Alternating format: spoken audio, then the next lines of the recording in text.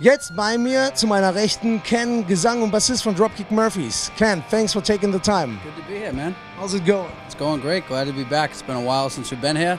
Looking forward to the show. Which side are you on? Which side are you on? So, uh, you remember the last time playing Vainstream, or is it? Uh, Yeah, do you oh, yeah. I remember. No, I remember the last time. Right when we pulled in, I didn't know what it was until we pulled in. I said, I remember that show well. It's nice to play, you know, with more bands that are um, of our style and stuff, you know. And there's a lot of heavy bands here, but we fit in.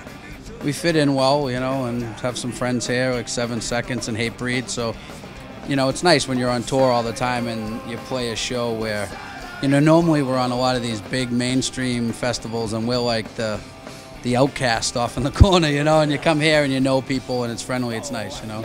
Side are you on? Which side are you on?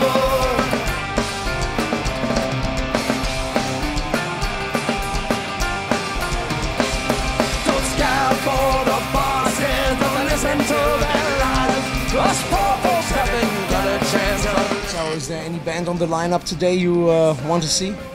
Well, definitely. I, I slept right through seven seconds, and that bummed me out. and uh, and uh, I wanted to see Hatebreed, but you know they're talking a lot of smack up there. Don't worry, our rebuttal's coming in German. Al knows German, so I better watch out when I come back. I'm, I'm dead. Ah, fuck. I know, I heard. Like, tell him life change.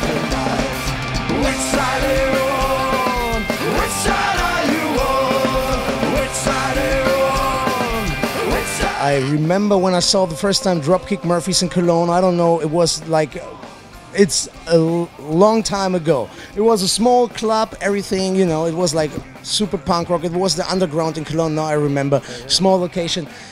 Dropkick Murphys, you guys are fucking successful. It became huge. Did you ever thought about this and how do you feel about that right now?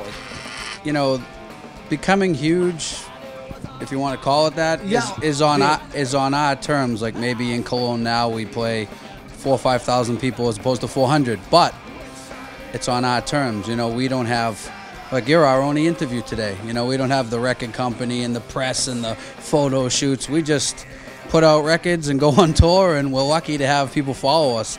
So it's nice. We have the best of both worlds. We, we get to play music, but we just do what we love, and we and we uh, we have our own label in America, and you know we just keep everything in our own hands, and that was always our dream. You know, to be able to get bigger on our own terms. You know, so. Which side are you on?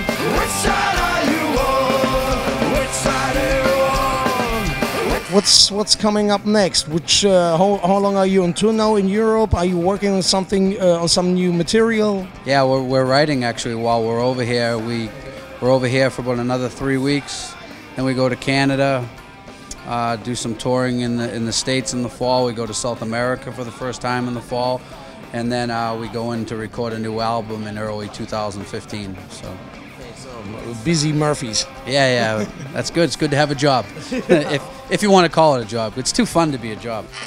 Okay, so um, just give me the last uh, few words for the Dropkick Murphys freaks out there. Yeah, good to be back at Vainstream, Germany. We love you. You uh, treat us like we're from here, and one of us almost is. Al, he speaks German, so. Uh, but you know, we've grown to be so comfortable here, and uh, just the fan base in, in Germany has been so awesome to us, and hopefully we can keep coming for many more years to come. So. Das war Ken Casey von uh, Dropkick Murphys. Thank you very much for taking the time. Have a good show later Thank on.